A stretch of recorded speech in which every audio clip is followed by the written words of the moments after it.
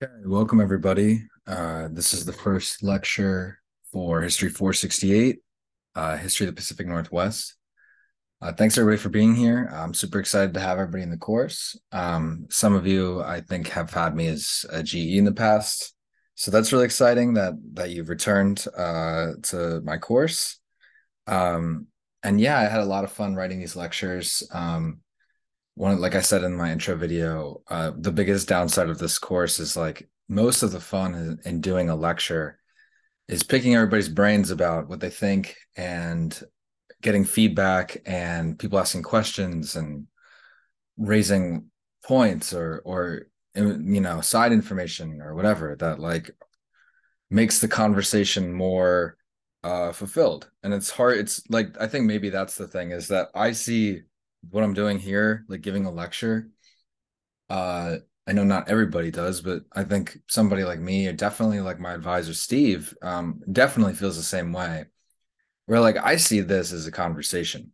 I feel like it doesn't really work as well when it's just like me spouting things at you because it, it's really like in order to get somewhere as far as like understanding with especially when we're talking about concepts like settler colonialism um it's really hard to get everybody like really thinking about things in different ways when it, you're only just hearing like my explanation right? You're not there's no questions clarification. So i really i guess this is a, a call to say like i really rely on and we will all rely on um your like feedback or questions or comments after the fact uh to kind of just get a sense of like you know where everybody's at.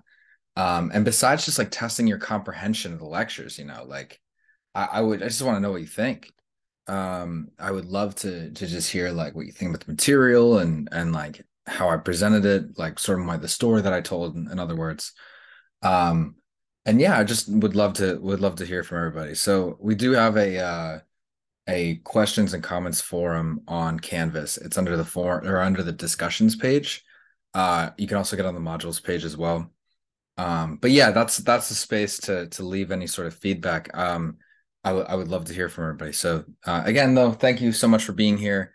Uh, the one thing is that I may like clear my throat because I'm sick. Like my, of course, um, I have basically uh, a couple weeks ago I returned from my brother and I. My my, I have one younger brother.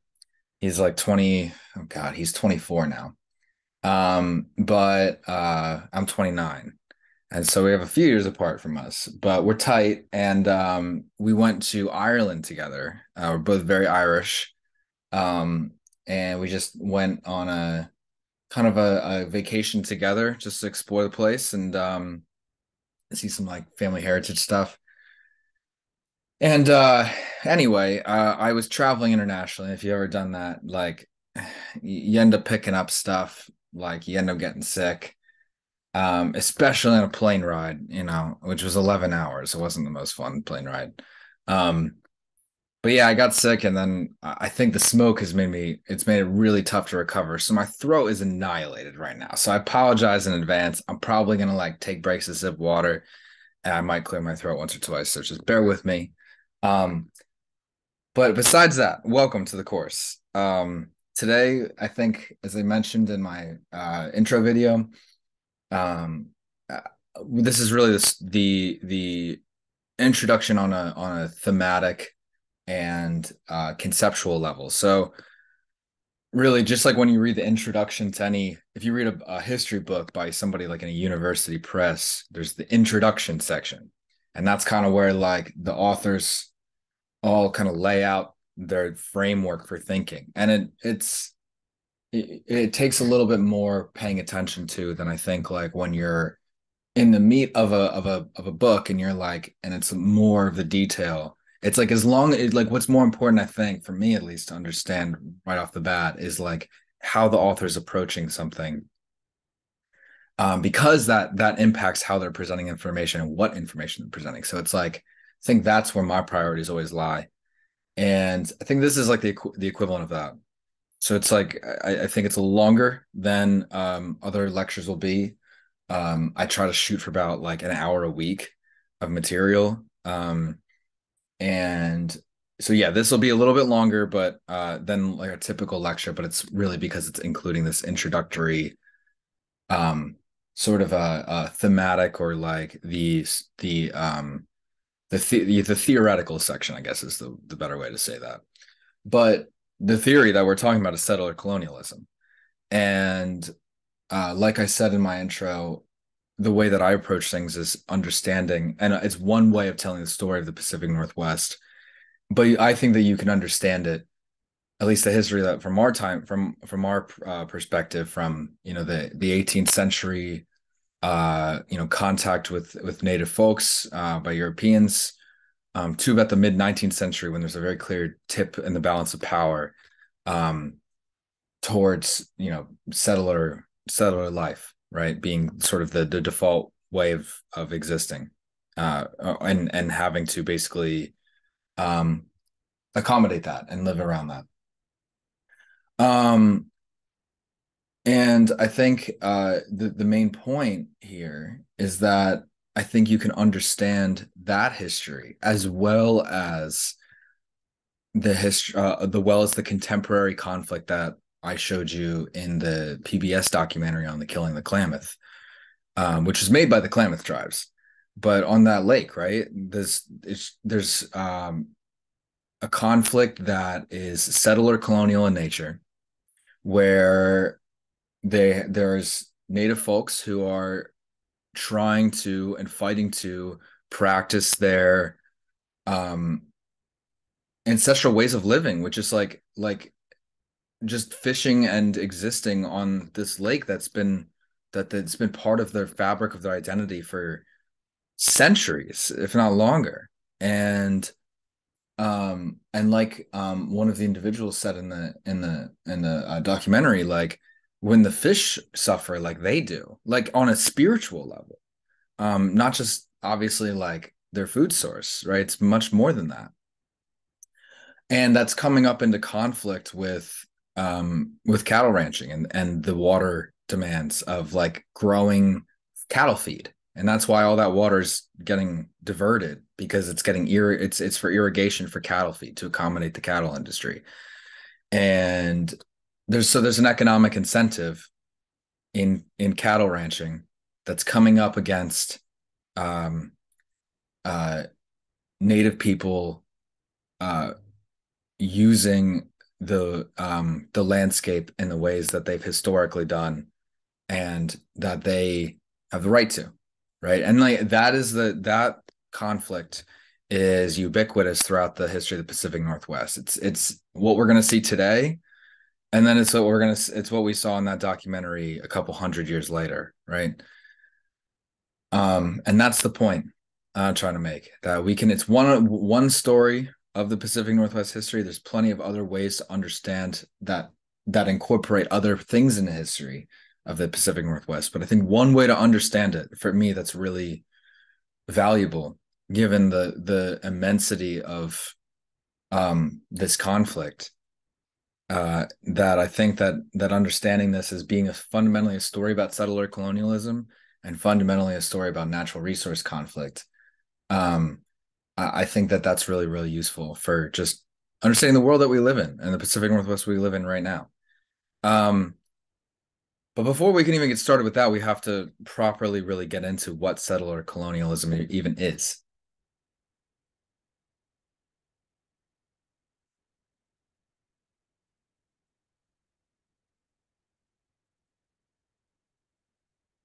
So settler colonialism um, is really was really popularized by as a as a as a term and a as a concept. It was popularized by this guy named Patrick Wolfe. Um, he's a scholar in Native American and Indigenous studies. Um, about 15 years ago, he wrote this article that was really influential. It's kind of like the starting point for a lot of scholars for settler colonial theory. Um, it's called settler colonialism and uh, the elimination of the native and it's basically the the argument that he makes is is in describing settler colonialism as a as a phenomenon is that fundamentally it's about land uh, and it's about settlers coming to permanently stay. And another way of saying that is um, settlers desire new lands that are already inhabited by people and they uh, want to dispose they they there is no other choice for them for settlers if that's what their goal is to permanently come and permanently stay. Um they just they they uh the the goal is to expropriate which is um a synonym for saying you know dispossessing uh the land. There's that's the inevitability that's that's that's the settler colonial project right is to dispossess the land from the indigenous inhabitants and claim it for settler society for for their own purposes. Um and for wolfe again the the in order to fulfill the colonial project um it requires the systematic elimination. And elimination is a key word not just the subjugation of indigenous people the elimination of indigenous people as as individuals as bodies as humans but also uh, uh, of indigeneity as a culture as the as the cultural um as the is as the uh, manifestation of being indigenous. Um that the any remnants of that uh that would potentially you know obviously um undermine the basis the the the legitimacy of settler society society in settler society's eyes. Um indigeneity uh as being you know the the the state of being indigenous to somewhere right? And the cultural expression of uh, or cultural remnants of indigenous people. Um they also are part of that project of elimination.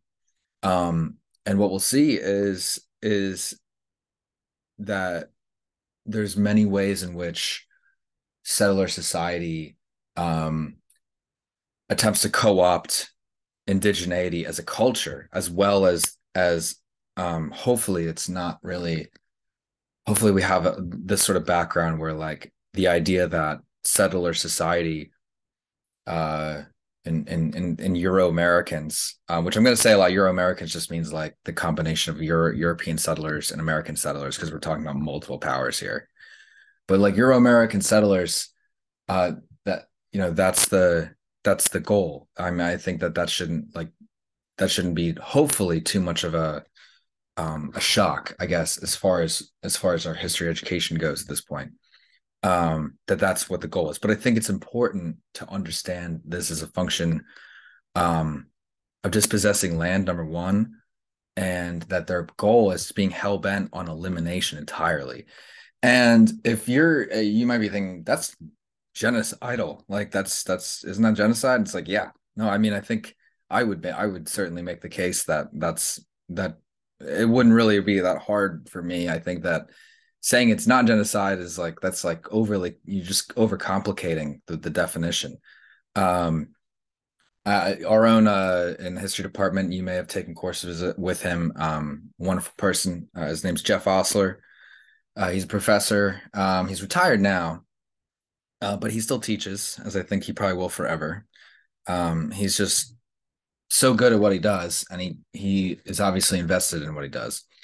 Um but he is very influential in these sort of discussions and he um he makes a pretty clear cut case that you know the what we call the logic of settler colonialism is what i just said. Like in order to to justify settler society's existence they have like it, it it requires uh the elimination of indigenous people. And for for ostler makes the point that that logic is genocidal just fundamentally and I, I I I agree with that. Um, and the thing is, is uh, that's important to understand here is that settler colonialism isn't just something that happened and then we moved on, right? Like settler colonialism was one period of history of the United States, and now we're in a different period. Um, that's often how the story's told. That when we talk about the history of the frontier of the United States, the history of the West in general, not just the Pacific Northwest, but like Western U.S. history, there's the the way we tell the story. I mean, you could just look at like books or or movies, or I mean, we could talk about so many of this type of stuff. This is the type of stuff I'd love to be like. Any examples of this and that you guys think of um, that we can't do?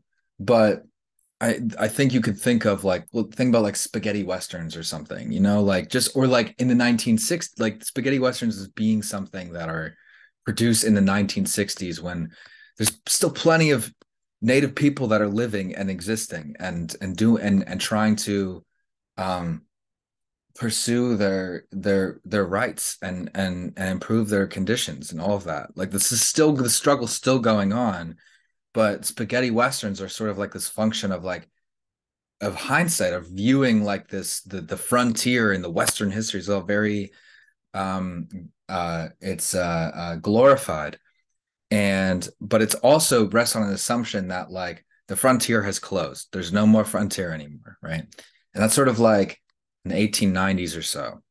Um that's about where uh people at the time but also people later um kind of pinpoint as being like the american frontier is closed and there's sort of this like lamenting about that um but along with that is this indigenous erasure where um, it's called the myth of the vanishing Indian. That and that's like the how we talk about in academic sense. Um, that and it really that's just describing how during that time and afterwards, um, there's th- that sort of way of telling the story. The frontier closed. Now it's just the U.S. You know, coast to coast, and and and at that time there was a lot of anxiety about that. Um, but it rests on sort of this implicit assumption that the native people are gone, right? Or at the or uh, assimilated into white settler society entirely. And of course, that's not the case, right? And that's a form of of uh, erasing just indigenous people as as people, uh, erasing indigenous culture. So one my my point here to thread this is that this is a the settler colonialism is a structure. It's not just something that happened. It's the very basis for how society settler society is organized. Um, and that narrative about the frontier american history's own narrative about that is actually itself a function of the settler colonial structure because it justifies it it naturalizes its known existence um, and we're going to kind of explore some of the ways in which it does that. But just the way to understand this, it's not one event, right? And this is Patrick Wolfe's argument. It's it's not just one thing that happened. It's a structure and it's a process. And we can see it materialize in all these different ways. In the in the present moment, that's in I mean, there's a million different ways it materializes, but we saw it in the Klamath documentary. It's it's it's fighting a lot of times we can understand it legally, right? Um, in the sense that law uh, oftentimes has been and what you know it certainly was at the time used to um, sort of naturalize the settler society as being like well this is just what this is the law of property this is just how it works and um and similarly you know Native American legal rights to uh, ancestral use of their of of um, you know like fishing rights or uh, rights to use prescribed or controlled burns, things like that, right? Are very contemporary conversations, but those rights, those legal rights, have been historically denied to them, sort of on that basis. Um, so what I'm saying is, you really do have to look at like every fabric of society uh, uh, as not just being like, as I said in my intro, not just how things are the way they are, but it's like that's an artifact and it serves a purpose. Um, I think that that's kind of like where we're where we're starting this. So, um, settler colonialism is not just it, it's not just uh, something that applies to North America. Obviously, it's a global phenomenon. Um, there's a lot of discussion and debate on within academia, of course, um, as to with people who accept this the general premise that I just said. You know that people we people in um, genocide studies or or history or Native American and Indigenous studies, which is just NAIS is another uh, it's abbreviation for that. Um, people accept that general premise but then there's a lot of discussion and sort of debate on like well what are the bounds of settler colonialism? Is it the same everywhere? Does it look the same everywhere? Can we still call something settler colonialism if it looks different in some ways than other things that we've all accepted are settler colonial projects? Things like that. There's all this debate there's all this discussion that um, that happens uh, in in these uh, for this field.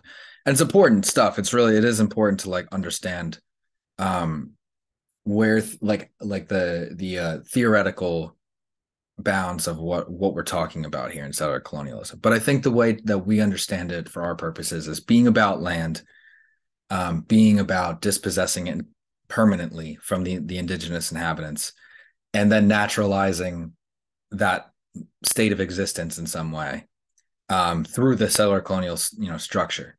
Um, that is definitely just that bare bones explanation. That's easily you know you could find that in in other places around the world. Um i think an easy example to look at here is is this you know this is a map showing what's called the scramble for africa. Um and in the, the late 19th century as you can see and now we're going to talk about some of the the like this map there's some there's a little bit of issues there. Um yeah i don't in territorial claim maps where it's it's it's um we're going to problematize it but for our purposes right now i think it does like serve the uh, it, it serves as the the visual for like what really did happen which is that you know all these european powers are looking around at, at their colonial holdings around the world and they're looking at africa and um they uh there's a bunch of different economic incentives that sort of drive this at the time. But you can tell that what happened was there was a literal like a scramble right? There's all these these colonial powers that sought to stake their claims. And the way that worked was you know settlers went looking for economic opportunity. And the way that patrick wolfe argues settler colonialism works is that the state follows. So settlers are the ones that kind of make it their way out there. There's a lot of lawlessness as because the, it's beyond the reaches of their own government if you're talking about like the british or something south Africa is really far away. You have um you have uh uh settlers that just like you know they don't see their the the the british presence. Not like it really changed that much anyway but it like but point being is like settlers are just completely unchecked. But that's actually in the interest of the colonial power. That's how it's supposed to work. Um settlers unchecked just just go out and try to stake their claims and then the state comes and follows and then sets up a either a legal or um you know pro, you know in the sense of property um but but set up some sort of legal or legitimate in in the settler eyes like legitimate basis for um their their occupancy. Um and that is very much what happened in Africa too. Uh South Africa is obviously I think the clearest example like most recent example of like how you can how you can uh, trace that that history a 100 years later uh, to um, through apartheid. And and yeah so that's kind of and, and and apartheid being like this you know a function of the settler colonial structure right? And that's kind of what our, our point is today. But at the same time there's plenty of ways that i think that what we're going to talk about um, today for the most part is the ways in which like it's not just the settler society that's legitimized or the or rather it's not just through law or through other um uh legal means that which is is the way that settler society justifies its own existence. It also does so by vilifying native people and indigenous people all around the world or dehumanizing them. Um just uh, portraying indigenous people or native people in in various manners that is that is conducive to the settler colonial project right? Either that being uh, well and the story we're going to see today is that that in the us and in north america that that portrayal was fundamentally in various you know iterations of it.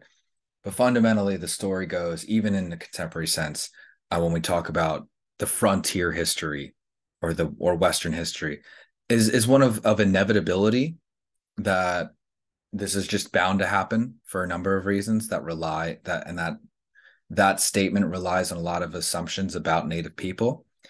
But also like that it was inevitable and that native people because in some fashion native people were had fundamental weakness in a lot of different ways to you know they were just not suited for um that type of conflict and and against such a superior military and technological power. And we're going to talk about how that's just not the case right?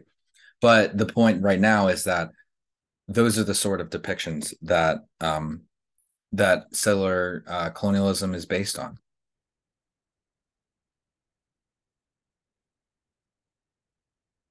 And this is a um this is a uh, picture of uh, Columbus landing the Bahamas, and like I think I just wanted to. I think this is important to go back to, to, to 1492 to really understand this. But at the time, what you know, there's like let's take a take a second to just kind of like think about the sort of like cultural attitudes that Columbus and his you know the Spaniards had uh upon upon landing in in the Caribbean, right, and encountering native people. Um, there's obviously the the religious aspect of this, where like this is for God's glory, and that God uh, is fundamentally um, on the side of of uh, Christ of like you know civilized quote unquote Christian society. Um, and there's and so basically there's you know columbus and folks uh see native people as being you know heathens that uh that are barbaric and uncivilized because they're not christian number one but also because they don't um have the same uh way of living. And for for columbus you know they see this as like there's a this is a legitimate basis for for for the fact that they think that the, this this land should not be theirs right these are people that are just uncivilized and, and barbaric and they're not even using the land the way that we would use it in order like growing uh growing sugar or what you know whatever it is. Um there's rationales that are that that they not and this is the point is like it's not necessarily like on the spot right? It's like these are cultural attitudes perm that that are like like sort of um percolating in the in the minds of of Europeans uh, upon contact, right? Another thing is around this time, ideas of race are really starting to become um, more prevalent in Europe. Um, it's still really early for that, but it's it's it's come. You know, obviously there's there were forms of discrimination and forms of discrimination in, in some ways based on skin color before the the concept of of race as the way we understand it was sort of uh, invented around the 15th century. Not going to go into that too much of this history but it, it's it's a function of the spanish reconquista in a lot of ways where after they kicked the moors out um and and they you know there's there's now a muslim minority um race on the in the sense that race being um, the idea that there's immutable characteristics about people that uh, that are physical and that they correspond to um, to behavior and they correspond to um, culture and and and that there can be you know there's a you can prejudge somebody uh based on their these immutable characteristics as evidence for you know the type of person they are or their culture or whatever right? That's kind of like how i would shortly describe what race is in a general sense. And for for the for columbus like these sort of ideas about race and um and racism are are also percolating right? So this is the world that they're that that these guys are coming from. And then they they land and they see native people.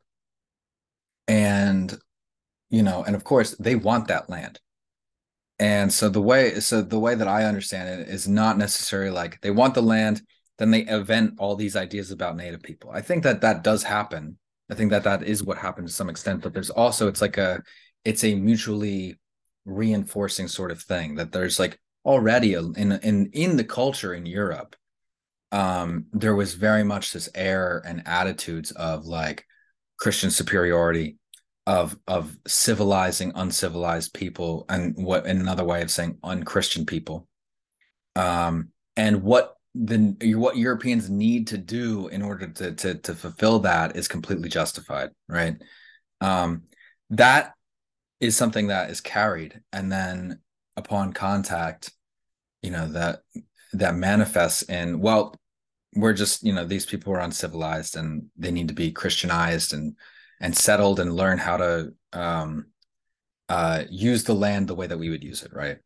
Um, so that that's just I wanted to to just give you a sense of like that is the cultural attitudes and that's kind of like how that works it's not people sitting around being like how do we uh like what are we gonna say about native people like like that does again there's plenty of instances in which people like do just deliberately like okay we got to come up with a way to like steal this how are we going to do that definitely happens but i think it's a little bit of an oversimplification oversimplification to think about it that narrowly there's also like there's just that's how culture works, right? Um, you're immersed in something from birth. You have these and like these um cultural beliefs or or things that just are taken for granted. Um uh and and ways of of understanding other people, you know, depending on where you grow up or depending on the type of environment or culture that you grow up, um people have different uh uh really like like the people are shaped by different cultural forces and and um and i think that that's really important to understand as far as like the world that european explorers and american settlers are are entering and like all of just as a as a way of saying they have a they're carrying a ton of preconceived uh notions about christianity about their their place on the planet and and religion is central here. About race about um you know manifest destiny as we would put it. Uh the idea that this is supposed to happen. And they're carrying those with them right um and and then you know upon like wanting to dispossess land these are very very convenient rationales um for that. So i think that's a better way to understand it.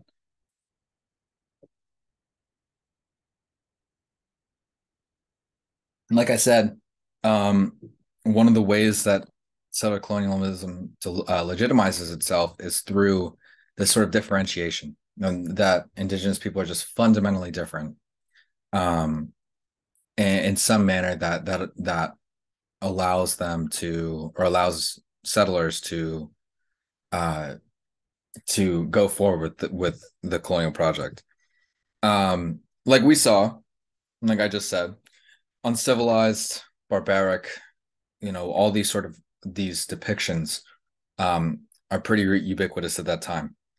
And this is important too. Uh, that they're therefore unworthy of occupying the land, right? Know, it's that that's the big part is that well these people are not even using it the way that we would use it they're not farming and this is the thing is plenty of indigenous people like this large farming operations but and all this stuff but in certain places you know they see they see um you know even with farming they they're just not they don't see the industrial side of things or quasi industrial or whatever the manufacturing side of of, of european euro american life. And the absence of that suggests to them that like they're they're they're not using the land the way that that white settler society would use it. And therefore settlers have just more of a right to be there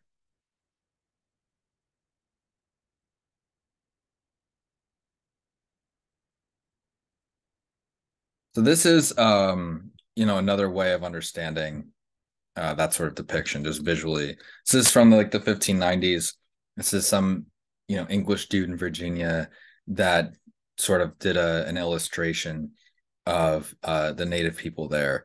Um, and obviously you can tell it's like this is it's a very um, primitive um, it's sort of like over the top with the with the um with the sense that they're like yeah it's just very it's just very primitive depiction of society you know? And it's it's it's it's very obvious i think to us in the in the modern sense.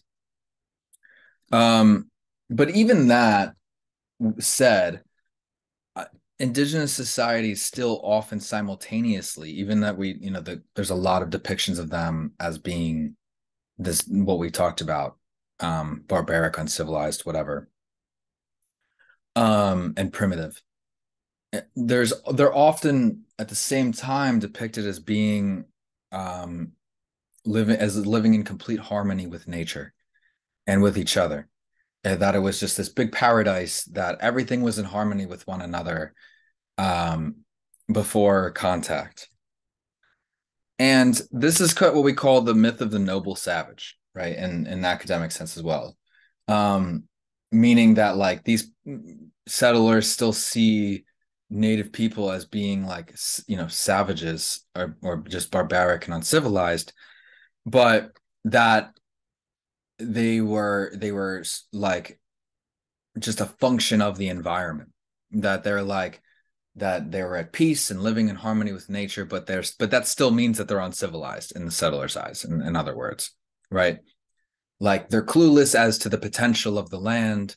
They're clueless as to how to how to operate in in white society white settler society um uh which make and there which makes them you know in the settler sense like barbaric or or unworthy of being there but there's still sort of this positive association with like with like a like almost like an innocence that they were living in complete harmony with with each other and the land and everything was was hunky dory you know? And um and it's a very it, it's a very uh pervasive sort of idea about native people that like and it doesn't even have to be necessarily even negative right? Like in the sense that somebody somebody might have good intentions uh, or might feel sympathetic towards towards native people um or empathetic towards like what what they what certain people went through you know what groups went through under under settler colonialism under gen you know genocidal conditions. Um so that there might be somebody who like you know um like i said it's sympathetic but still reproduces this this uh depiction inadvertently and one of the saddest ones I think was was Avatar. I mean, I love James Cameron. Uh, uh, it's it's hard for me to to to say anything bad about him, but and I really liked Avatar. I think it's it's really good. I think it's it's actually more complicated than your typical um depiction of of of native or indigenous life in a sense that like maybe with the sense of inevitability it's a question that we're going to talk about today. There's not really that sense of like their um them like losing as being inevitable or something right? That's kind of what we're going to talk about. Um but there still is in this in an avatar like they're they're indigenous folk that live in literally physical harmony with with what is the entity of nature right? That they connect with and that they just from time immemorial they have lived in like this perfect peace with their natural surroundings uh, and know how to like and and can and literally can physically connect with it. Um that is straight out of this sort of uh framework right? And so that's what i mean it's like obviously james cameron's like not not sympathetic towards like native folks right? That's kind of the whole point of the movie. But that's what I'm trying to say is that even if somebody like that is is making a movie um sort of trying to in a sympathetic light you can still there's very much uh, this reproduct reproduce uh, reproduction of these discourses. They get reproduced over time consistently in different forms of popular culture. There's a really good book about this um it's called the ecological indian by Shepard Krech um this is one of the early texts I read in grad school, but it was really formative for me. It just like it puts what we're talking about in really clear terms, uh, and it traces really the this myth of like just Native Americans living in complete harmony with each other and with with the natural world. um, and how that got reproduced up until today. Really, really good book. Um, but and we'll talk a little bit more later about that sort of myth.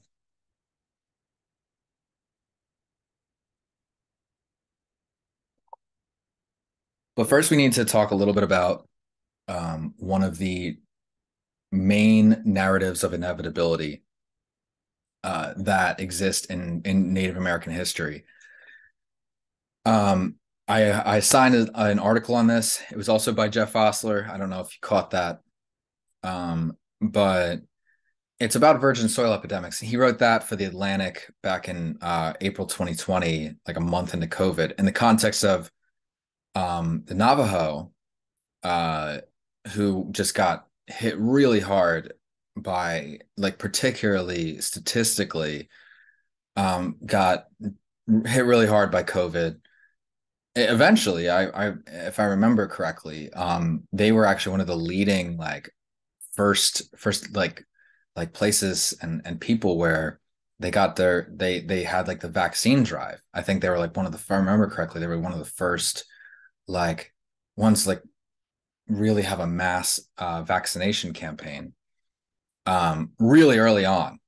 Uh, but initially, uh, they got hit super extra, like extra hard, disproportionately hard uh, by COVID. And Jeff's point was that um, it's not that Native people, it's not that Navajo people got COVID easier, right? It's it, like something about them makes them that happen it's the conditions that they're that they're living in that makes them more susceptible to um, disease and for and not only that but for it makes them it makes recovering from disease that much harder and that's what explains that disproportionate um, experience with with disease uh, for native people. And he makes the connection to that's that's how it's always been when we talk about native americans and disease.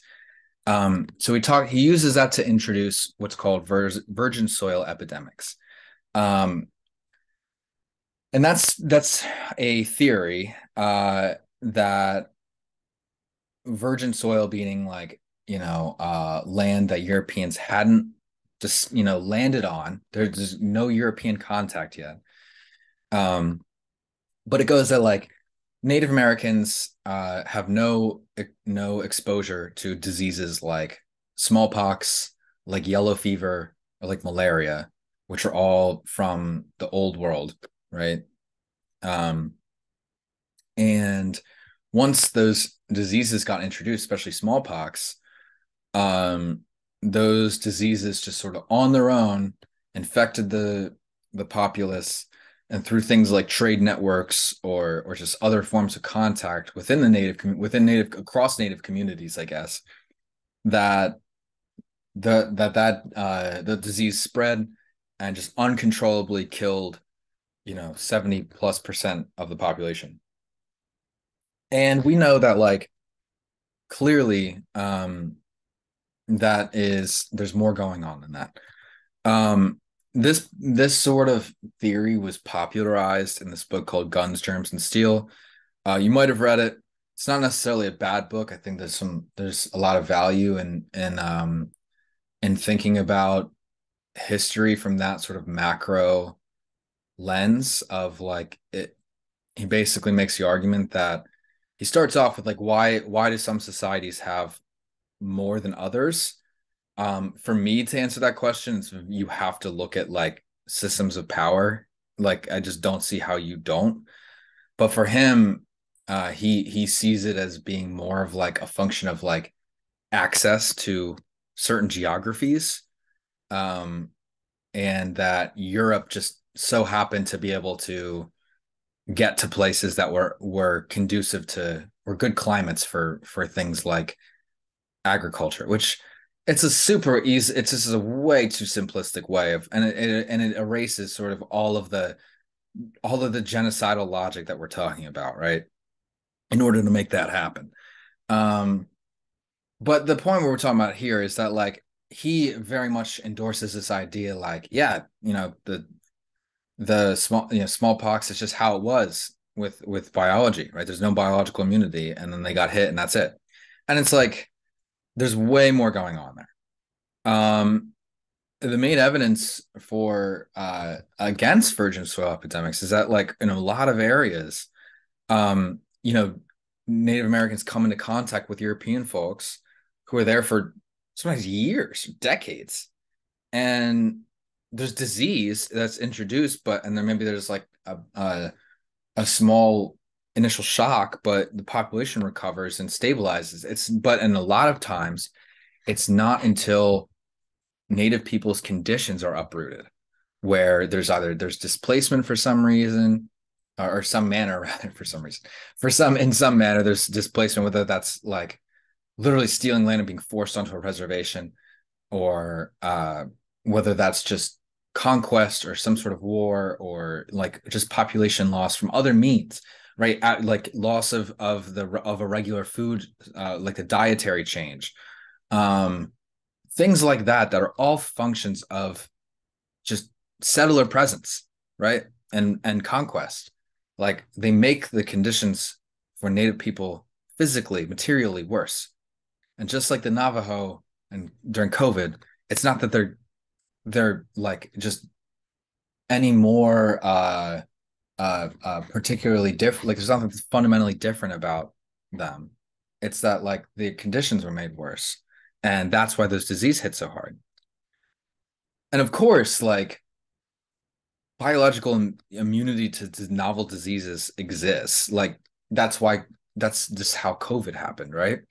Nobody had any immunity to covid and um and that but that's a that's not necessarily a, an abnormal um what i'm trying to say is like when there are novel diseases introduced into populations um there's a there's a very noticeable trend that you get hit hard, you know, just like COVID, right? There's initial big shock. Nobody has any immunity. It just nobody has any any antibodies. There's just your your body doesn't know what to do, and it's it's it's fundamentally just the disease is gonna take more of a toll. Uh, over time, populations uh, for from novel diseases like that are hit, they recover. And that disease might be present more and and you know be now a fabric of life. But that initial shock that that like populations recover from that.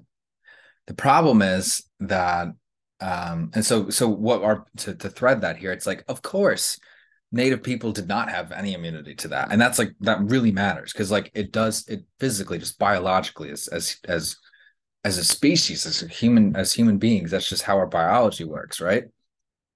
Um, similarly to this is small tangent, I promise, but uh, in the American Revolution, if you know anything about this, uh, George Washington and Cornwallis, who's like the British general, the very end of the war, they're fighting in the American South, and now George American uh, troops had George Washington's troops were all from like Virginia and South Carolina, and they had grown up around which they're mosquito borne diseases, but malaria and yellow fever like were the big killers back then.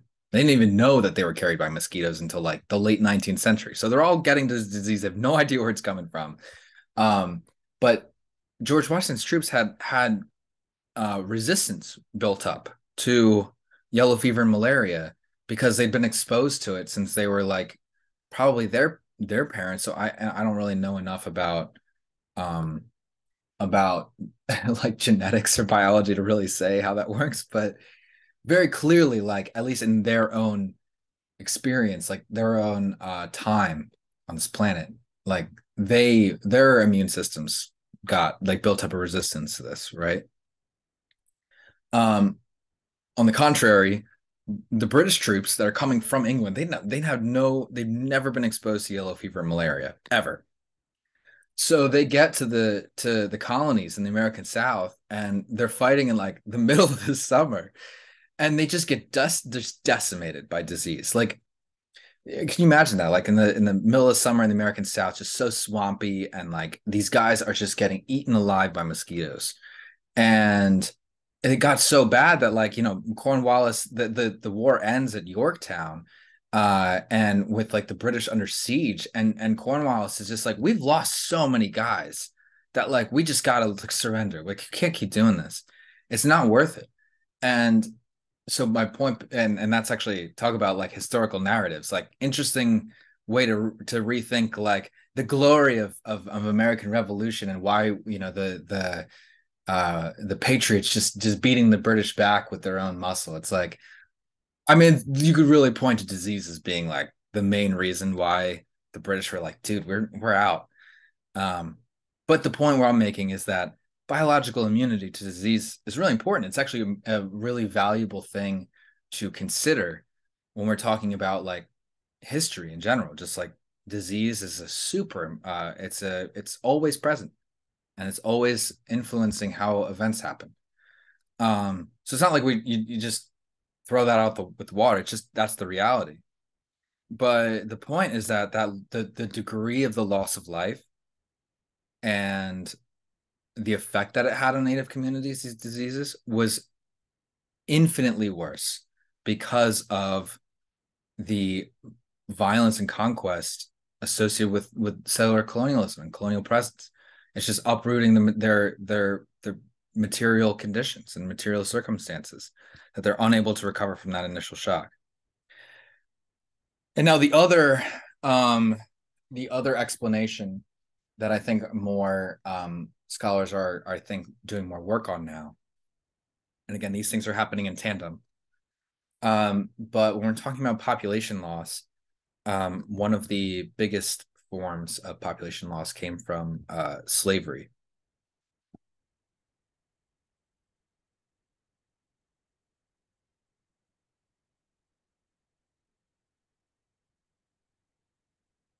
So this is um this is Hispaniola. Um, this is the island of Haiti, Dominican Republic now. Um, so in the uh, this is and you have on the right you have Christopher Columbus landing there. Um, so if you if you know anything about that, um, the Spanish land there, they claim it for their own, and it becomes a very very um, important uh, uh, island, arguably the most important like just piece of land in the Caribbean for like m- multiple colonial powers. But initially, um, estimates by the local native people there um, the population estimates range from I think tens of thousands to at least several hundred thousand. Um, really hard to to do those sort of estimates that far back. Um, but the point is is that there's let's say a hundred thousand for for math's sake. It's easy easy number. Uh, somewhere in the middle. Hundred thousand people live there, right? Um, and about that's about fifteen ten um, so so really like we're only talking about very short time after after initial contact. Um, now you would based on our our virgin soil story, you would think all those people uh like you think all these people um got diseases and and the the point like the the, the big piece of evidence here is that all uh, within a few years within like 50, I think it was like by 15, 14, 15, 15. Um, that population gets down to only a few thousand. That's that's what that's what's recorded in um in um colonial you know ledgers and documents and diaries and that, that's what historians have put the pieces together as far as as far as uh population loss being talked about constantly like now and and about estimates um, that within a few years, that number dwindled down from, let's say, 100,000 to just a few thousand. And you look at that and you're like, geez, Louise, like, that's a lot. That's a crazy amount of loss of life. Like, what other than disease could possibly like be the explanation for that? Like, those, like, people had to have been all wiped out by by smallpox, right? And the answer is no. Um, so uh, first this book. It's called The Other Slavery. Uh, it's by Andres Reséndez. It's really, really good. Um, and he does a lot of this work, um, uh, putting the pieces together. But he found that the first mention of smallpox or any or yellow fever or just any other diseases um, was not until like 1518. So this is like years after a noticeable sizable drop off of like 90% of the population, but it wasn't disease. The Spanish had enslaved everybody or, or that entire group and sent them to uh, other parts of what was now the you know, Spanish holdings in the New World. A lot of them went to Mexico to work in um, in mines and mining silver. Um, a lot of them went to what are called encomiendas, um, which are like basically labor camps that are were owned and operated by conquistador lords or other, you know, some sort of colonial government uh, government um, or administ- administrators. Um, and yeah, I mean that's that's the that's a pretty piece, the convincing piece of evidence for me that you can't really you can't really argue with that. Um, and so he's like, eh, yeah, they they enslaved hundreds of thousands or like like tens of thousands at the very least but the whole they depopulate the entire island from in, in slavery right? And I think that that is uh, that sort of work on this the like on the slavery network um indigenous slavery network within north america as well. Um he talks a lot about it in that book but it's i think becoming clear when we talk about population loss that like this is a humongous part of it. Um, and it's not really up until this point really been given the uh, credence and the and the um, the um, attention that from scholars that it obviously should have. Um, and what's really screwy is that, um, like I said, historical narratives as being stories about ourselves are this historical narratives we have about settler colonialism and about um, the settlement of the West and and for our purposes the Pacific Northwest um, was one of inevitability, right? And the and those narratives, like I was saying, they're functions of the settler colonial structure themselves, and they serve they they serve it because they they naturalize its own existence. And so, similarly to that, settlers in the U.S. they see this history of of of America, you know, Native American population loss in in all of the Americas, North America, South America, you know, Caribbean, whatever. Just humongous population loss across the board, uh, and a lot from like like we are saying from um from disease just being that bad, like being made to be that bad. Um, but they see that as as actually further evidence for the legitimacy of the settler state and and of their project. It's it's in their eyes again this is why religion is so central. Um they see that as like well god clearly wanted white people white settlers to um to take this land. Otherwise he wouldn't have like paved the way for us by killing all of these native folks off. He was obviously trying to show us that it was trying to open the door for us for settlement that's literally the logic that um, that they operate in under. So that's how these things are related. The historical narratives about that's why we're doing this right now because in order to really understand uh, settler logic and how it's how narratives function, we have to go back to like on we have to disprove settlers' own historical narratives about Native people. Really, so you know what I mean. So that's why we're doing this right now and obviously you know with the, this inevitability um uh talk whether that be um native americans living in complete harmony with nature um living in harmony harmony with each other of just being weak to disease just by nature of and like just being overrun. Um obviously this is all going to affect how you know besides it's all patronizing and paternalistic for sure uh worse than that but just at the very minimum. Um but it's it's clear that like this this representations of, of indigenous this inherent weakness um it affects how we tell this story.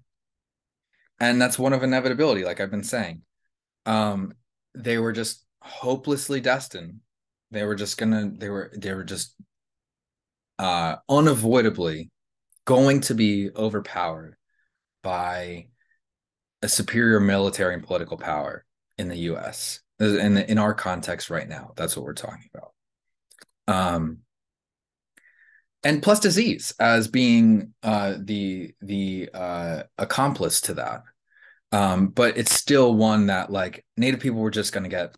I mean, if they were just going to get uh, um, overrun by an by a superior force because of all of these different things, and our story today is that that's not the case.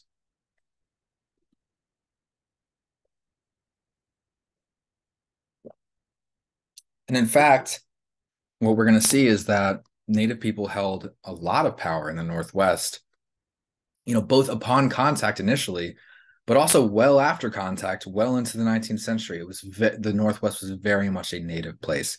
They ran the show.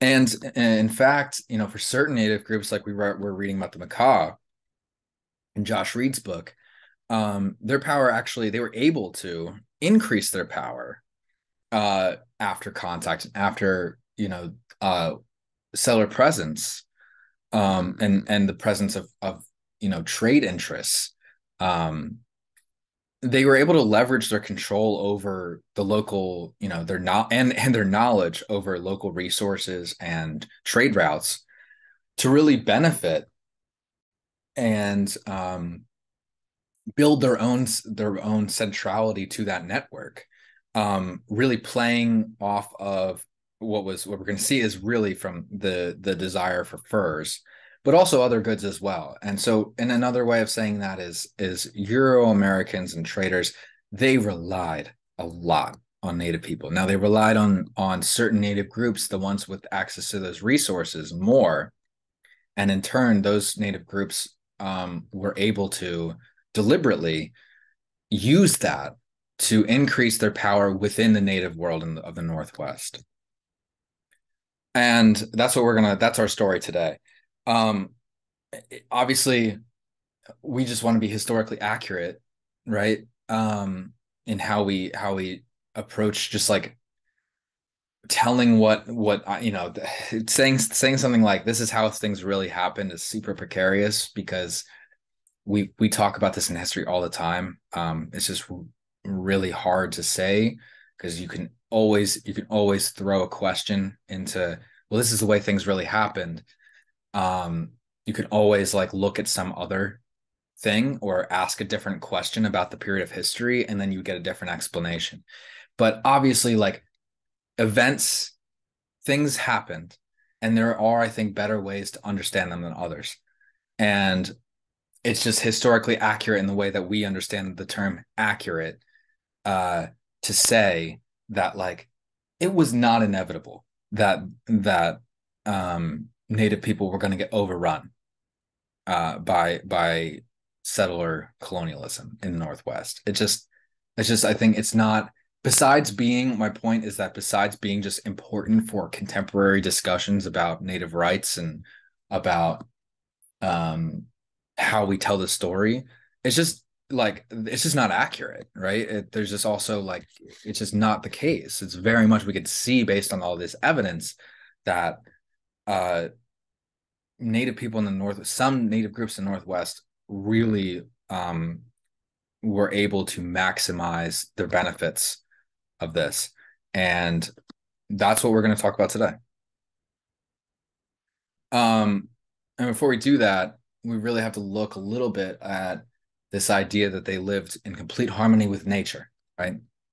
That they're the, the noble savage, as we said, uh, that untouched, living in perfect harmony with with um, with animals and and with with their their local environment, and basically they it's a way of tying native people to the environment. It's just being sort of a function of of the Pacific Northwest, almost like they're just the way that settler like you know logic or whatever talks about this is like they're almost just like part of the environment right and obviously that's really not that's a damaging way not just beyond like the humanistic side of that but just it's not it's not the case um and really native life dependent on on constant modifications to the landscape um in, in a really dramatic fashion they used uh, prescribed burns um, to open up land for you know for multiple use, but mostly for farming. Like here in the in the Willamette Valley, especially, right?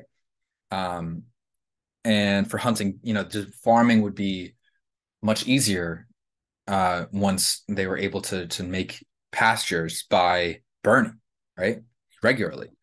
Um, it also helped by opening up uh, land for for hunting game. Like it's just way it's it's easier to hunt if you're you're less, you know, in a lot of ways. If you have less tree cover, um, you can see game from farther out. You know, whatever. It's just easier to hunt. Um, and for and for easier travel too. It's uh, shouldn't come as surprises. You know, if they people want to get uh want to have a road or or uh, just a main, you know, just they want to be able to uh, uh, travel easier across land. Um, it, it, would be it's beneficial in a lot of ways to to do that. It also um, there was defense reasons for this too. I didn't list that, but like there there were there were reasons to use controlled burns to like shape the local like if you know um the uh how do I say that? Just like a local environment. Like if you're if you're in one village or something and you're and you uh burn you know the surroundings and you have more visibility um that actually has defense benefits too right? Like you can you have more of a uh watchtower effect over your own like village or whatever and for for any any um, you could see any sort of like invading parties from farther out, that sort of thing. So there's definitely like defense uh, benefits for that as well. And so people, native people, were constantly just, and I mean these are by by our standards, they were burning a crazy amount of the the state of the states uh, that we're talking about, like Northern California or Oregon or Washington. They like um a large portion of what of what we would of those like can you know those contiguous states right now um were, were burned regularly by native people um and and and so so the point here is that it's native people did not live in complete harmony with their with with you know uh nature this would this would give the sierra club a heart attack like looking at how much like the the uh uh, the forest burn you know how much the forest they burned every every year or every few years you know for for generations for hundreds of years. And so what happened is that uh, over time native people maintained the, a fire ecology in the pacific northwest where the eco- the local ecology of the reason uh, region acclimated to this new uh to like there's always a fiery ecology in the Pacific Northwest. There's always fire's always been present. But native people shaped the local ecology for hundreds of years to the point where that's the new fire ecology. That there's more open space, there's less super, super dense um forest. And that actually has its own effects on the local ecology and landscape, right? And the point is that was done through by our standards very dramatic changes to what the what the environment would have nat, you know quote unquote naturally looked like. It was naturally looked like there's trees everywhere and the and I actually it's hard to say because it, it uh because it, being like what would it look like in the absence of humans in general? I would i would imagine just you know bigger trees um but but more frequent fires um from things like lightning and and things like that, right? But for native people there it's like they the point here is that they modified their their immediate landscape to their benefit, to their liking. Um and they did not live in just like this perfect harmony with the with surroundings just like any other human beings they shaped it dramatically for their own benefit and i think it's important to to understand that it, there's plenty of contemporary reasons why this is important. Uh, not not the least that indigenous fire practices are just scientifically speaking like so much of a better way of managing um, wildfires um, than what the Forest Service, especially in the in the U.S., has done, where go, I said this in the intro video. You go out in the woods in the Cascades, especially where there's fires all the time, and they don't.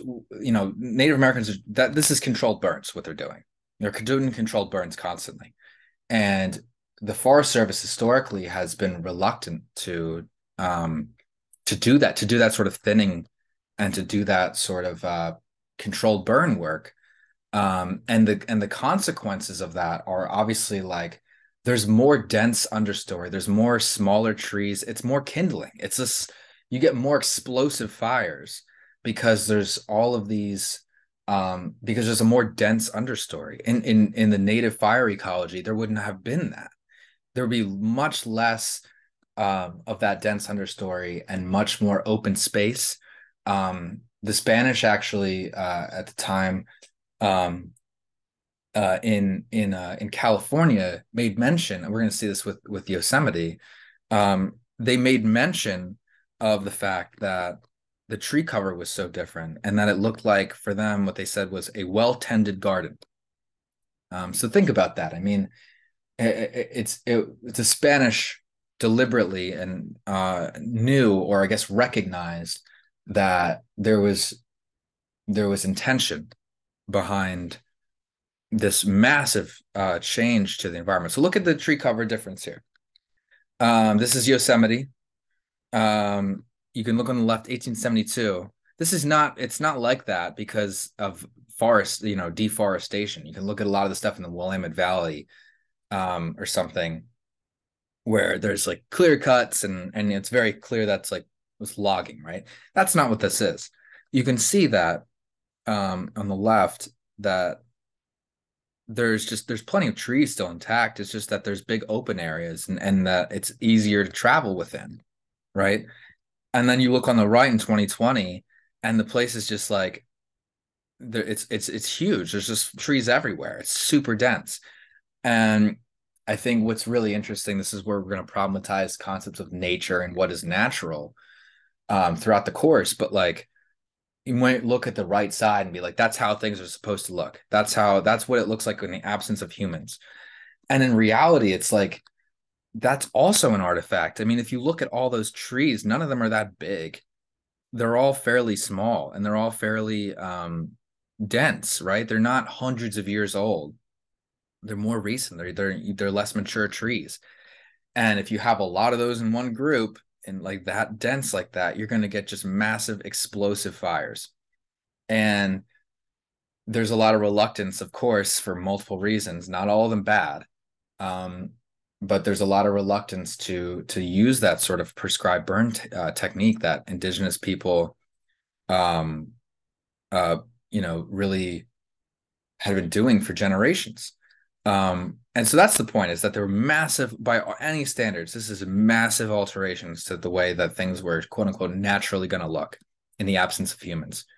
And that's our that's our main point that we're not living in complete harmony with nature. And it's important it's, it's besides being patronizing, it's important for contemporary discussions about like restoring tribal uh, um, uh, sovereignty and and uh, ancestral practices like like prescribed burns. Besides just like the the the legal you know they should have the right to to pursue their ancestral like uh practices. It's like just it would be for just the benefit it's just more beneficial. There's a sign like plenty of very clear cut scientific reason to do that. So um yeah it's just i think that's a really really important point to make here for for our purposes going forward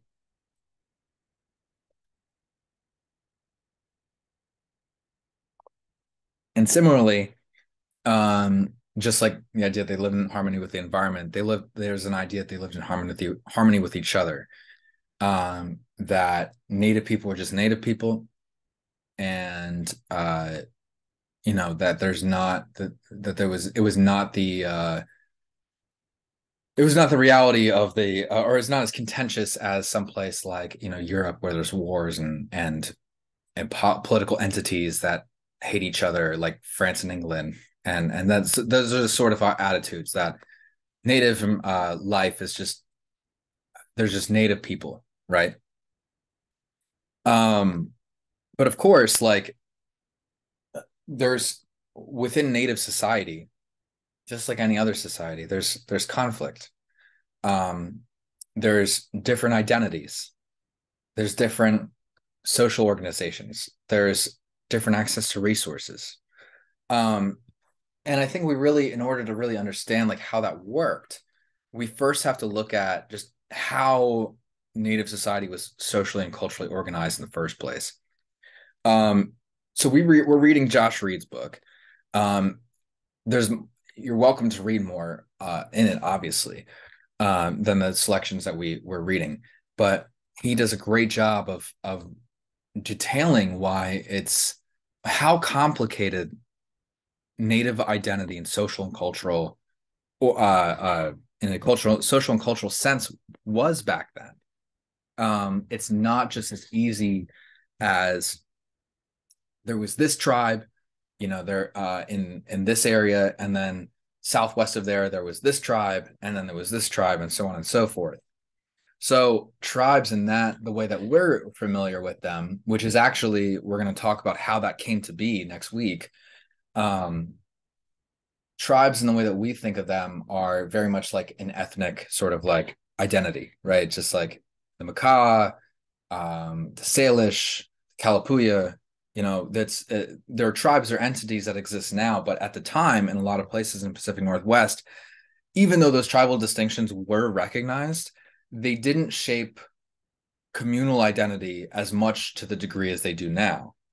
Um, you know, instead, uh, most of the native people in the Northwest lived in uh, really multicultural groups where uh, there were more in villages. Um, you might have members of all these different tribes living together, right? You might have there's members of the Makah, there's members of the of the Salish, there's member like whatever um i guess that would be a little far but uh, the Duwamish, right? Like there's there's uh there's plenty of different tribes that were uh living in uh members of certain tribes that were living in villages together, right? And for native people then as as Josh explains, um those tribal like identity was based more on one's clan or one's like local village I uh more so than those than those uh you know broader ethnic or tribal distinctions right? So what mattered more at the time for native people is not so much like i'm part of that tribe he's part of that tribe right? It's more complicated than that.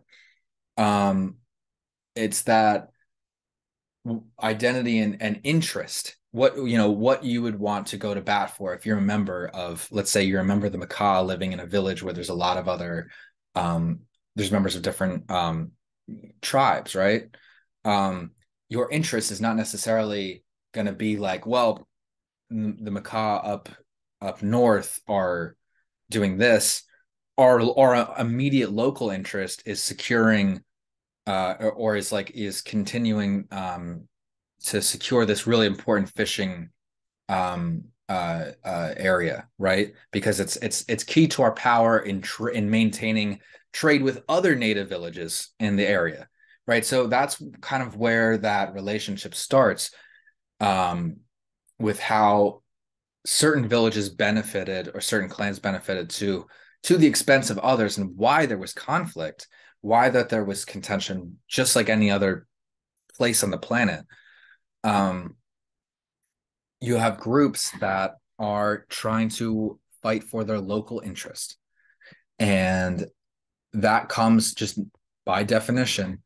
Um, if if one one uh, group has access to a, a, prime fishing spot that makes them it makes other groups uh, maybe down you know down the line um, or or more inland or something it makes them dependent on that group for those for that those goods for fishing right? For for whatever it is so the point being here is not to get too specific, um, but just that resources are distributed un- unevenly in the Pacific Northwest. Um, and some native groups had access to those resources more than others did. And and those local interests right mattered more where you lived and the and what your village's activities were uh, were more that was more of a determinant of like of identity than just the base tribal distinctions we're we're used to. And that they did still recognize at the time. And i don't want to make it seem like there were no tribal distinctions. It's not the point. There definitely were. Um, but the local interests often superseded that. And so here you can kind of see um, maybe a little bit more of what i'm talking about um, so this is from Josh Reid's book.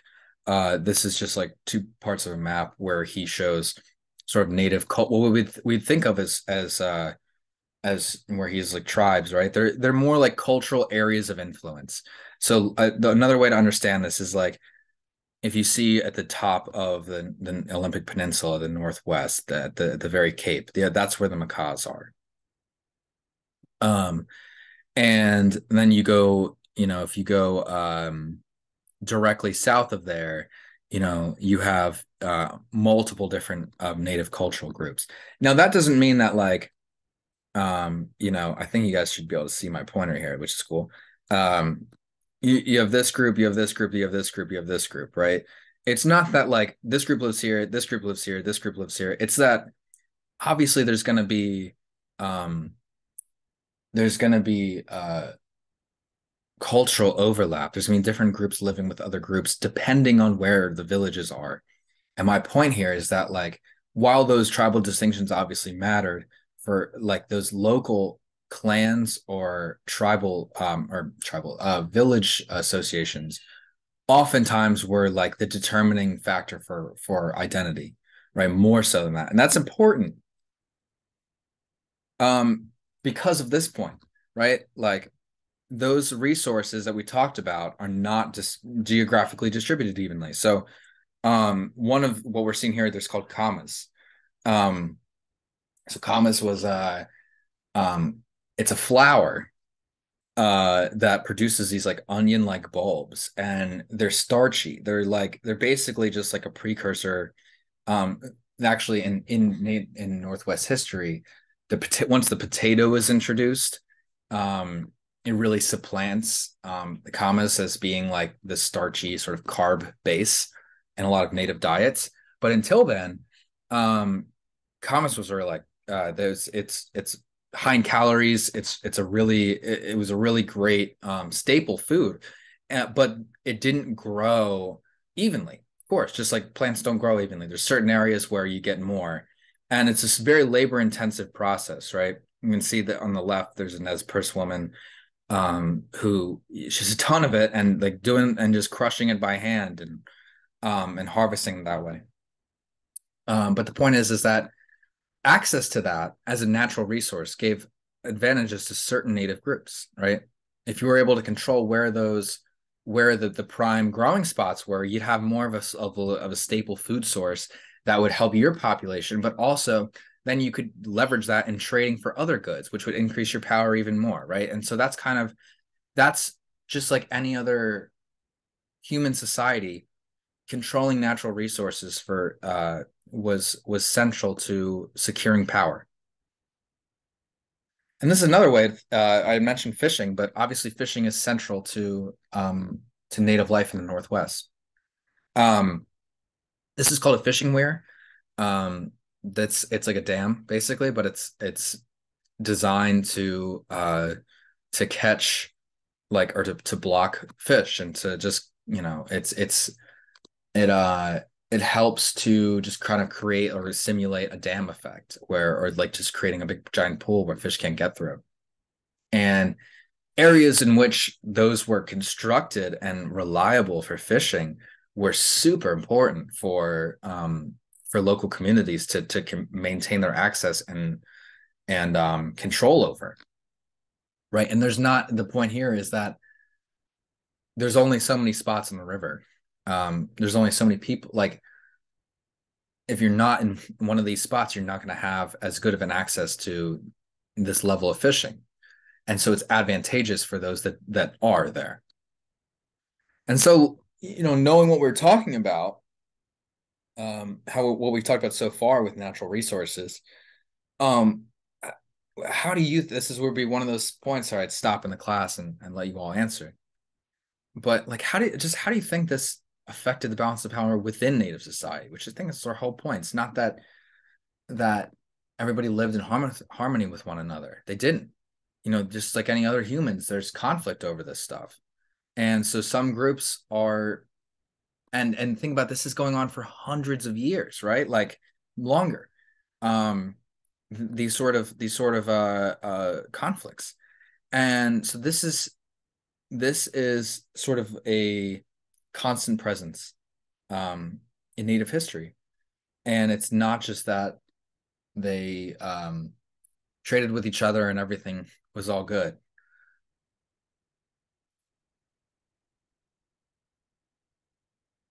You know, there's constant conflict um, over the resources and the territory with, uh, in which they're held.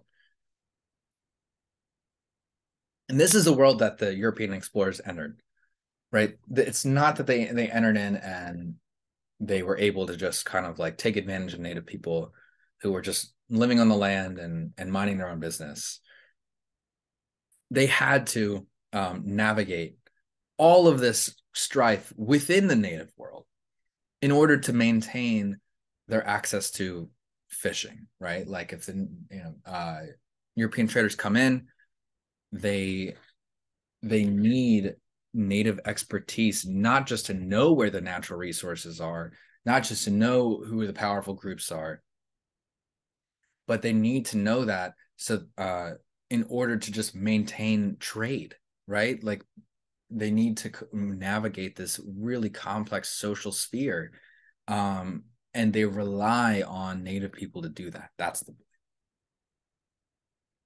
now all of this really it started to explode um, and really take off these and and I, the the the degree of European presence felt and the degree of European reliance on native people um, exploded um, when uh, Europeans really discovered um, the potential for um, for the Northwest being an economic investment, and that was in the form of furs. Um, so um at so at the in the very beginning, at the very beginning, um, the uh um of settler colonialism, uh, the Russians um, had already uh, been in the Northwest. Um, they had uh, attempted to colonize Alaska for a very, very long time. Um, it was found in the late 18th century um, in you know the Russian Alaska up here, and then you have the British and what is now Canada in the Northwest. Here we're talking about you know you can see uh, this is like British Columbia is the area that we're we're talking about here. But w- the point of this map is to show you how many different competing powers knew that this area was going to be um, really really lucrative for for trade. Um, that is uh, you know you have the spanish in the southwest you have uh, the dutch here in the east and obviously very much down here is in the southeast of here is is the the states right um and i wanted to ask again these are one of these things where i love to pick your brains um and stop but um based on what we talked about so far do you see any sort of problems with the way that the northwest is represented in this map? Um just stop and think for a second like what based on what we talked about about native society about all of that what do you think that the problems here are the main problem that i see with this map is that there's no native people right? There's there's all these claims. This is what i had kind of previewed uh, earlier. Um there's all these claims. This is the, the problem with territorial claim maps. Uh, it doesn't represent the reality of the world that Europeans had to navigate or the reliance on native people to do that. It's not, in other words, Russia was not present everywhere in this map.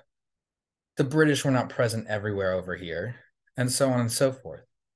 There's local areas of, of where British you know, may, may had more of a presence, but they clearly didn't occupy this entire area, right? They didn't, the Dutch didn't occupy this entire area. And what we're talking about with reliance on native folks is very clear that they had to navigate a native world and and and to not um these type of maps from this era well it's not from this era but a map showing this the the sort of claims of this era um you have to be really careful because they misrepresent the fact that native people still obviously like like control was in native was with native people right over this territory and while these colonial powers make land claims to it that doesn't mean that they occupied it at that time or not even close right? It's it's they still this that's why this you have to be very careful with these type of maps. Um it's super precarious to just look at this and be like oh wow the british were all the way out here. And it's like not really. They claimed that and they had maybe some influence in certain local areas but they certainly were not present in all of that. So similarly um, we can look at uh, some of the history here for the pacific northwest. So um, there's this company called the hudson bay company. It's, it's abbreviated the hbc uh, in the 17th century they really take off uh, in the fur trade um, in you know with French fur traders, um, uh, trading with them, um, but really in this in this area um, around the Hudson Bay, and there's a main shipping port for the fur trade um, up until like through the 1700s, right? And this is their charter. This is where their their main areas of influence are. Um, now, the Hudson Bay Company, um, it's a private company, right?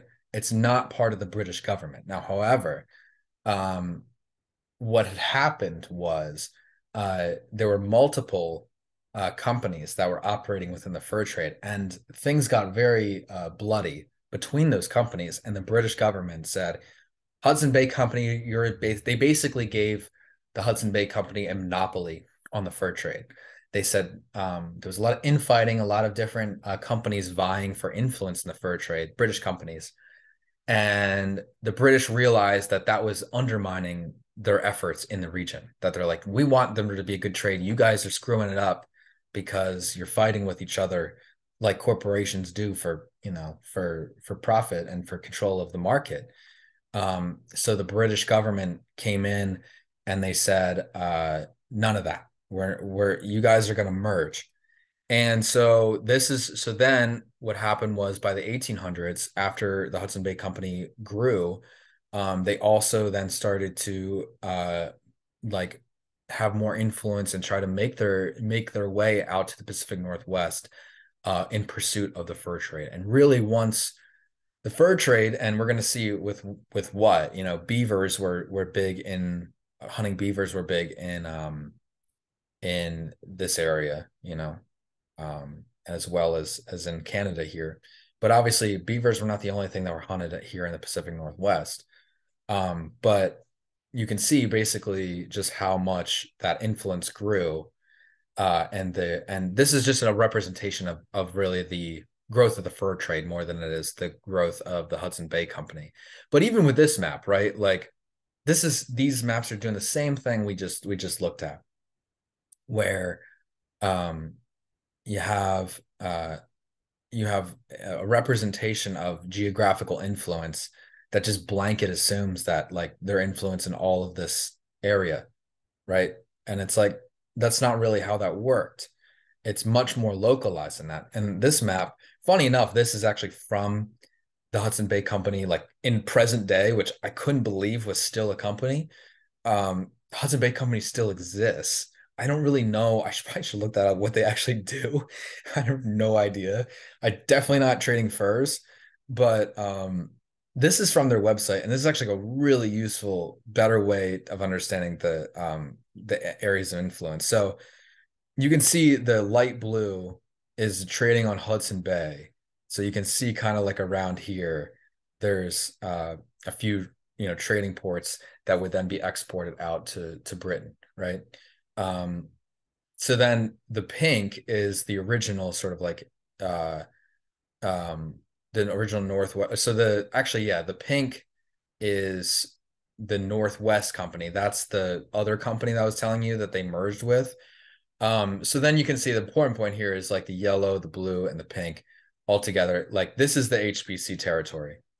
And so instead of obviously like they're not influ- they're not present in all these like really remote spots, it's like along waterways, along um, routes that there's posts, right? And little areas of influence where um, this is, you know, this is a major trading post, but it's not like they own all of um uh um you know the, the in Victoria here, but Vancouver Island as a whole, they're not present on the whole thing, right? It's just the trading port. So that's kind of the way to better a better way to understand that. Um and of course the the thing that they're after are sea otters who are just freaking impossibly cute. It's just uh, devastating to even think about. Um I don't know if you've ever seen them, but you can go to the if you live in Eugene, uh, you have some time. Um, you can go to the uh, Oregon Coast Aquarium. It's like in Newport, I think, or no, I think it's actually in Lincoln City. Um, anyway, on the coast uh, uh, here, um, a few hours west, uh, there's a, a the small aquarium, but it's really cool. They have a lot of cool exhibits, and they have a couple of sea otters that I think they the story goes they rescued a couple as pups and they've raised them and i couldn't i couldn't get over like i've seen river otters for a long time. I, I you know grew up seeing them i saw you know you just see them sometimes you're on the water. But geez they are humongous. They're just absolutely enormous. Um they're like i mean the ones that we saw at the at the aquarium were like gotta be like four or five feet long like they were just like massive um and basically, I think that's just kind of giving you a sense of like them as animals. But there was a lot of demand for their pelts.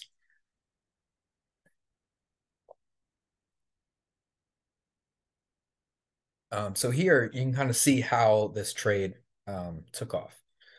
Um, this is again Carius map, no native people here. Um, so that's a, that's the major issue with maps like this, is that there's just no native people. You can see like all the forts and all the areas of influence, but it's just like, where are the native people? Where are the native area areas of influence? It's like, uh, like we had said, native people uh, or Europeans relied on native folks to um, to gather these pelts for them. It's not like the Europeans were out there hunting them um, to the same success rate. Um, so to not have them represented as being like part of the the trade is is not accurate, right? Anyway, the point is that um, this is a representation of the trade itself. So all of the red are just like areas from which like furs in general. Now this is including other this is like beaver and other forms of fur, but really it's like this coast line where they're they're going after sea otters. Um now what are they getting in what what is this area you know what are they trading for and where are they sending it to it's a good question like who's who are the purchasers like why is there an economic incentive behind um hunting for for sea otter pelts in the first place. Um and that was because of the buyers right? So what happened was um europeans could pay native people in either their goods or just not a lot of money uh, in order f- in, in in exchange for sea otter pelts which there were at the time um, a lot they it's seemingly a lot of to be to be had. Um and um they could but they could basically it wasn't a large buy-in cost to get the product but they could upsell it to a you know to a large large profit um, to buyers who were willing to spend who really didn't have that same sense of how much things like the production cost in other words were um, and those in large part were uh, were Chinese buyers. So in, in China in the 19th century um, furs especially like sea otter pelts um, became a luxury and, and with the higher classes, and it was really really well desired for you know like um, as as part of fashion, as part of like a a, a luxury for a you know uh, it's just it being it being expensive or whatever is part of the deal. Um, so it just there was so much money to be made. In other words, for for Europeans in this trade, um, and they would on the right here you can see that one of the HBC, the Hudson Bay Company steamships, they this is the type of like vessel that they would use to carry that uh, sort of like pelts across to um, to London and then which would trade for um, to China for other goods. All right, and but they had to. The invention of steamships helped a lot with um, the preservation of goods, um, which is the the the time that it took to go back to London, um, and uh, and yeah, so basically the reason that there was such a big trade in in sea pelts is, and there's like it's like a, a they call it soft gold, um, because the production cost, in other words, of Europeans paying native people to go out and hunt pelts for them, which is what they they relied on that entirely, which is our point, our last point. Um, the production, the buy-in cost for Europeans was minimal from their perspective, and the payout to to merchants, and not just not just Chinese, but that was like one of the main buyers, um, in exchange for China had obviously a ton of goods that the Europeans wanted uh, silk, tea. I mean, you name it. Uh, there, there's there's plenty of things that that uh, the English, especially, realized that um, that furs would help them obtain, right? Um, and that's that's the main point behind what drove that kind of the gold, like the gold rush for for pelts. And like I said, it, it really shouldn't come as a surprise that Native people were way better trappers. Um, I mean, they knew the area better. They'd been living there for generations and generations. intricate knowledge of the local ecology, of you know patterns of of migration for certain animals, and and when the peak times were, things like that. Um, Europeans had no Euro Americans had no idea how to how to navigate any of that, like physically or just like they didn't know any of the patterns, right? Um, and our point earlier was that in order to even access this trade at all, those Euro Americans had traders had to navigate this really complex uh, political and social landscape uh, within Native society just to just to get there. Um, and so, what did Native people get in return for this? Like, why would they you know, if they're not getting paid that much in comparison to what Europeans are making from that, then why do it? Like, why? What's the point of that? And it's because they obviously benefited from it too, for some to some extent.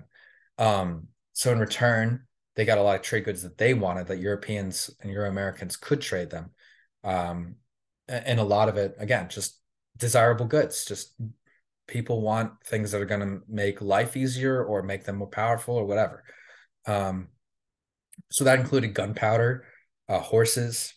Um, but then really what, what the, the major point here is, is that native groups like the Makah n- knew how, knew their position in the trade. They knew that uh, Europeans relied on them. They knew that if they were gone and if they weren't the ones that were doing this, that Europeans would be screwed and they would not be able to to to maintain that level of influence, maintain that level of profit. And so Native people knew the position they were in and they knew the leverage that they had. And a lot, um, and, and, in various instances, they were able to, like the Makah, play off certain powers, like vying for access to this trade, the Americans and the British, for example. Both want access to this trade. Um, Native people, a lot of times, were able to successfully and play them off off of one another to get what they wanted. And I think that that's a really important point for again our inevitability discussion. N- nothing was inevitable. The in in a lot of ways, these native groups for the short period um, significantly increased their power as a function of their own actions and their own their own efforts. but what do you think the consequences were? You know, obviously, I think in hindsight, we can realize there were some consequences uh, long term. But what do you think, like even in short term, what do you think the consequences with this for what, this uh, uh, for this were rather? Um, and one of the one of the things that I think are, is really important to to recognize is the trade aspect of this. So, like we just said, the Makah uh, to were able to increase their power to some degree, but they also grow. They had also grown reliant on, like they they grew their power, but the source of their power was participating in this trade, right? It, it's it's being part of this world now. And while it was in their interest, like within native society, the Makah were able to become more powerful in comparison to other groups, right?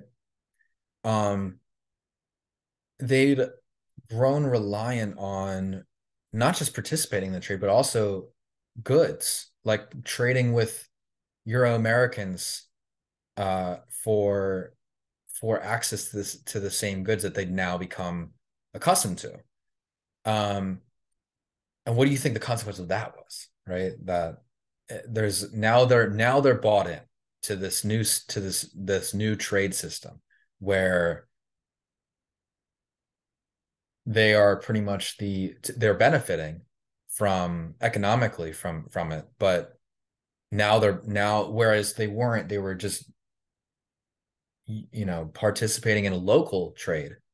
Um now they're participating in a giant trade into almost industrial, quasi-industrial trade of uh of pelts that are not just like they're in exchange for some other goods, but people are making are are making um profit. Are there they're making they're they're building capital. It's an investment. Um, that's a different part. That's a different uh, trade network to buy into and to participate in than one in which they were more accustomed to within native society that people obviously traded for com- commercially right they traded they they went out hunted we want to go trade with this group and because they have other stuff that we want. And that's but there's but the, the difference is the economic incentive um, for just building wealth making money off of money. That's that's a, the new feature of um of this trade. And and there's some consequences of that.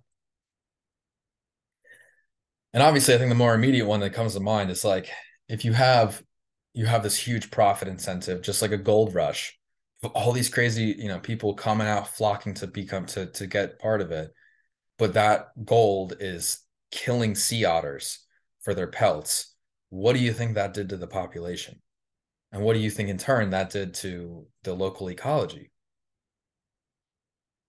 Nothing good. Um, so great book. Um, this is uh, Ryan Jones. I, am I'm doing so much uh, legwork for the history department here. I'm not even necessarily they're not they're not paying me for it. Um, so hopefully hopefully they know that I'm I'm I'm singing their praises. But Ryan's in um, he's part of the art history department. He's great. Uh, he teaches uh, Pacific uh, history a lot on like the ocean world. Um, he does a lot of work on whaling and environmental history. Um, really great guy. Um, uh, definitely recommend taking his courses. He teaches an environmental history course. It's great. Um, but anyway, he wrote this book called Empire of Extinction. Um, he, he works on on Russian um, you know hunting like for uh just in the sea for different creatures whales sea lions stuff like that but he looks a lot at, at the, the sea otter um uh trade right so here you can get a representation of just the scale of the trade and this isn't this isn't even necessarily at the height which is so nuts to think about but you can see like so the Russians, like I said, the Russians are in Alaska, they're in the North Pacific for a lot of this time. They're part of this trade. Um, you can see about the like the the 1780s is really when it takes off. And you can if you look on the the y-axis, um, it's the you know it's in the tens of thousands of sea otter skins exported.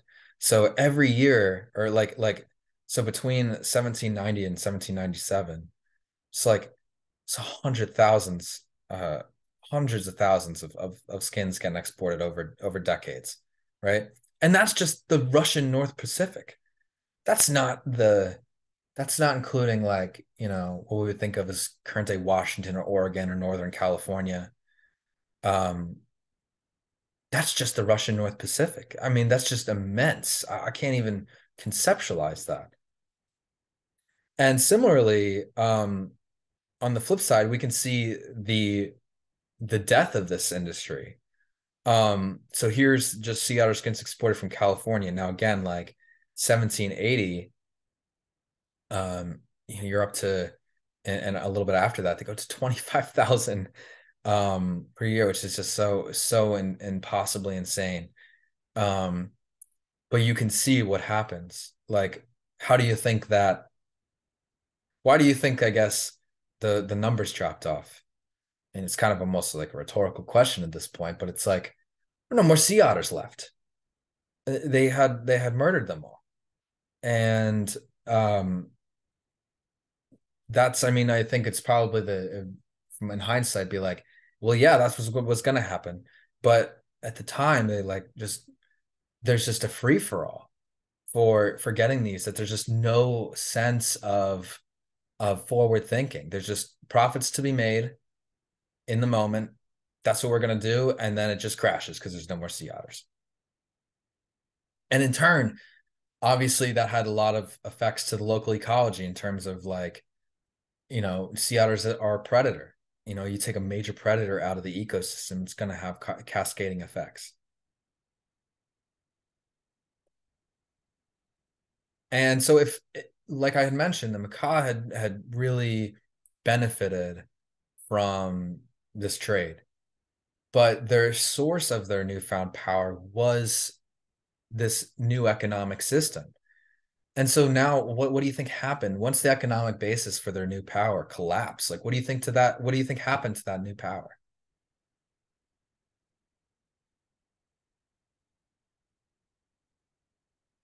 Yeah, but the, but at the same time, we need to ask this question simultaneously. So okay, the, the the industry collapse, and this was the main source of economic opportunity for Europeans and for Americans.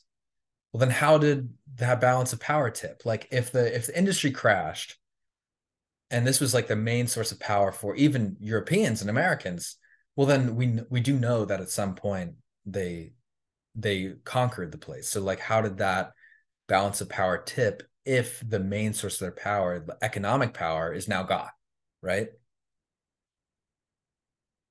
So really, it's that British, American, and Russian powers could really no longer main influence in the Northwest through trade alone, right? That's how they were doing it up to that point.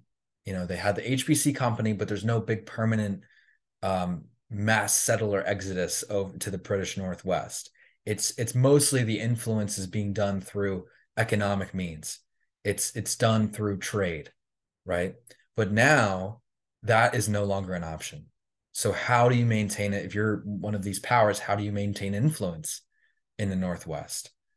Um, and of course, one of the incentives to do that is the presence of other world powers. It's like, well, the British are like, well, we don't want the Americans going in there and then taking this opportunity to do this.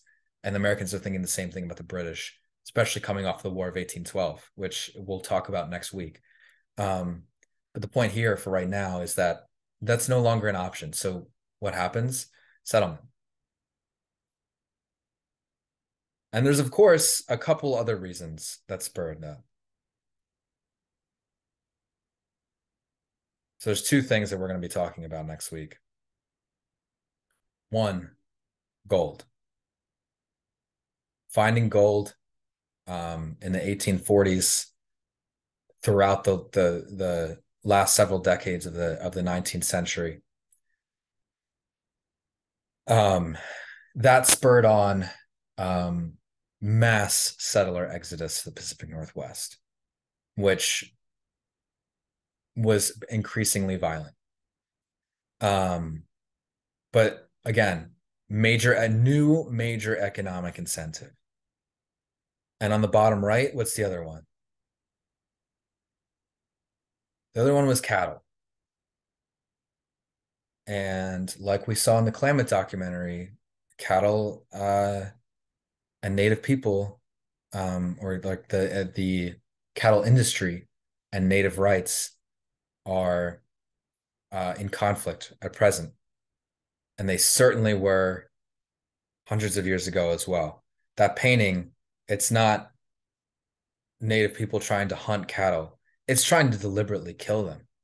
We're going to talk about why, but they're going after settlers' cattle to deliberately kill them, not to hunt them. And you can see in the picture, settlers aren't aren't uh, some guy in a cowboy hat. Not too not too fond of that idea. But we're gonna explore why that happened, what's the context behind that, and then how both of those things relate to this balance of power tipping. Because in the Northwest, none of that was inevitable. But we need to understand it as being contingent upon economic incentives, upon political power, and that the story of Native Americans just hopelessly being overrun was just not the case. And for a large portion of time during the, the sea otter trade, um, they were able to to maximize the, their their their ben- to their this to their benefit. And that goes against the major historical narratives that we encounter every day about Native people.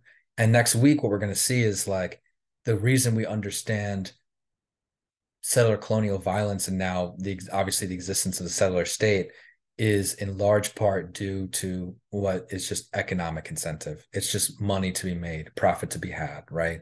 And that's when things really start to to take off. Um, so that's it for today.